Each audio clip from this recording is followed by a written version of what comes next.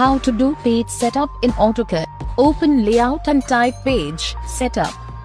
Select modify and change plotter DWG to PDF. Change the paper size. Now select OK and close. Type viewport and press enter. Then select a viewport and give OK. Draw a viewport on sheet to view the drawings.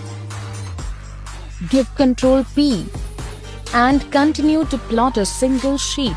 In plot style table, select monochrome CTB, apply to layout and select preview and you are there. Enroll to our detailed course today.